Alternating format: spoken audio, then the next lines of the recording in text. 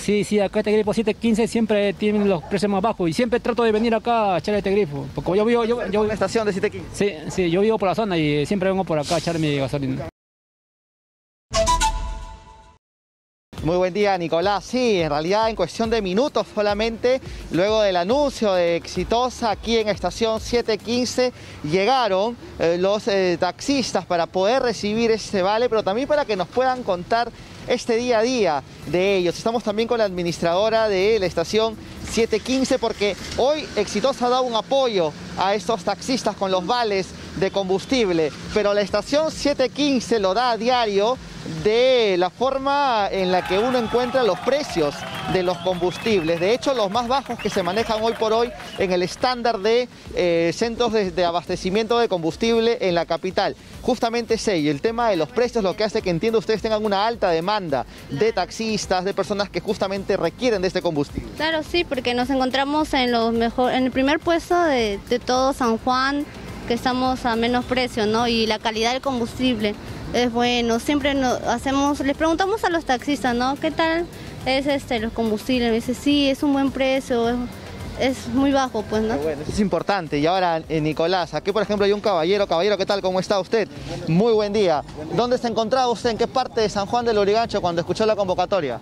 Me encontraba bajando este de Montenegro a dejar a mi niño al colegio y del colegio ya me dirigí para acá al, grifo porque escuché la noticia. ¿Cuántos años usted eh, transportando a las personas, eh, escuchando historias en su taxi también. 12, 12, años, 12 años como taxista. 12 años ¿Qué anécdotas tiene usted, caballero? ¿Qué es lo que podría resaltar en estos 12 años? tiene usted, caballero? Ah, bueno, para mí, gracias a Dios, todo tranquilo, siempre encomendándome a Dios, todo bien, no he tenido problemas. Todo bien, gracias a Dios. La situación ahora mismo con, con, el precio de los combustibles que estuvieron muy elevados, en algunos puntos continúa incluso estando a un precio que para ustedes a veces resulta inaccesible en el sentido de que digamos, dificulta y aminora el ingreso que le queda a ustedes día a día. Ah, no, sí, claro. O sea, por ejemplo, en el caso de mi carro es eh, uso gasolina, entonces siempre tengo que estar echando, por ejemplo, antes se echaba cada cuatro días, ahora tengo que echar cada tres días porque mm, sea más caro el combustible, demasiado caro. ¿Trabaja más horas para poder cubrir esa demanda que ha subido? Sí, obviamente que tengo que trabajar más, más tiempos. ¿Más tiempo también en casa? Claro, menos tiempo en casa, menos tiempo con la familia, pues a veces. Sí. Que se pide esta situación porque la de ustedes se comparte por miles de taxistas en todo el país también. Ah, no, claro, o sea, bonito sería pues que los gobernantes este, hagan las cosas bien para que tratar de que baje no solamente el combustible, sino las cosas, porque también la canasta familiar ha subido bastante y no alcanza, pues prácticamente ahora hay que dejar más a la casa para más plata para que nos alcance para poder cocinar, para poder alimentarnos. ¿Cuál es su nombre, caballero? Santos Torres. Señor Santos, y por eso justamente es que le vamos a entregar uno de los vales de combustible, Nicolás, porque ya están aquí los 10 taxistas, ahí está, para usted con este vale, se acerca al punto de abastecimiento y le van a llenar gasolina, petróleo, lo que use su vehículo. Y como él, Nicolás, está ya acá esta fila extensa de 10 vehículos que han llegado a este punto para que puedan justamente abastecerse de combustible aquí en la estación 715. Caballero, ¿qué tal? ¿Dónde se encontraba usted cuando escuchó la convocatoria? Estaba yendo justo a salir a trabajar y escuché la radio y me di media vuelta. Estaba por la estación Santa Rosa. ¿Cómo son estos días? Complejos, entiendo, por el tema de los precios también. Sí, está brava la situación. Este, ha subido bastante los precios de combustible, también de, los, de las cosas del hogar, el pollo, el azúcar, que ha subido una barbaridad. ¿Quién lo espera en casa cuando acaba la jornada en el día a día? mis hijas, mis hijas, mi esposa, mi familia, que bueno, ahora hay que trabajar un poco más para tener un poco más, ¿no? ya que las cosas se han subido bastante. ¿no? Igual llega un descanso y a seguir al día siguiente. Sí, sí, de todos los días, de lunes a domingo. ¿No hay feriados a veces para ustedes? A veces no hay feriado, este, hay que seguir trabajando porque si no trabajan no, no comemos. Pues, eh, como taxista, caballero? Ya 15 años ya. ¿15 años? 15 años, 15 años como taxista. Entonces. ¿Auto propio, alquilado? Felizmente, gracias a Dios, auto propio. Se consiguió con esfuerzo, imagino. Sí, sí, con bastante sacrificio, bastante trabajo. Así como trabajamos de lunes a domingo ya. ¿Y, es dragoncito o, ahorra el, carrito? Dígame usted. Felizmente, felizmente es este, un poco ahorrador. No es un motor muy grande, pero sí de todas maneras consume, consume gasolina. ¿Cuál es su nombre, caballero? Fran, Fran Pérez Vega. Señor Fran, a usted también, por supuesto, le vamos a dar su vale de combustible, eh, que sabemos será de una ayuda, digamos, por lo menos ya hoy llegará más a la casa. Bastante, claro, claro, esto va, va a ayudar bastante, ya, ya no me voy a ahorrar el 50% de lo que le he hecho, ¿no? Cada tres días.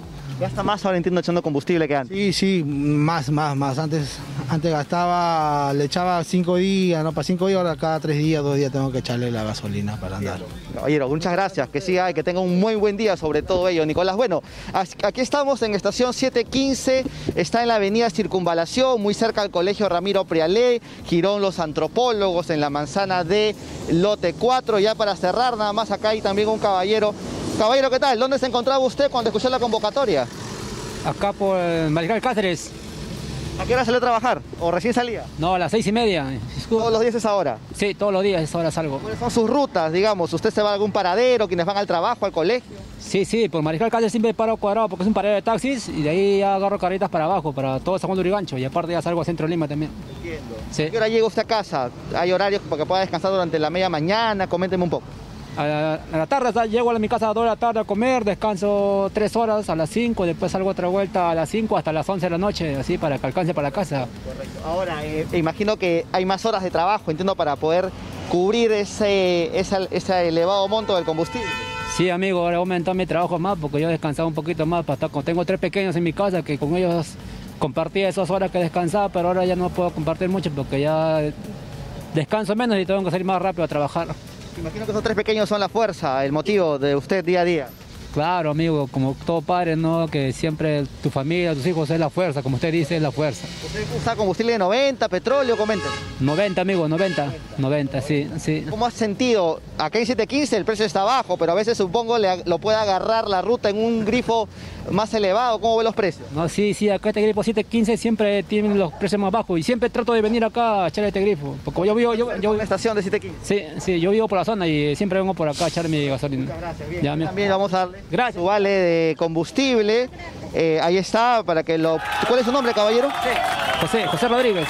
José, José, bien, Nicolás. Entonces, de esta manera es como exitosa junto a estación 715, hace la entrega de estos vales de combustible a los 10 primeros taxistas que han llegado. A- en tanto se hizo la convocatoria, ellos estuvieron aquí haciendo su fila, han esperado y ahora ya van a empezar a ser abastecidos en la estación 715 aquí en San Juan de Lurigancho, Nicolás.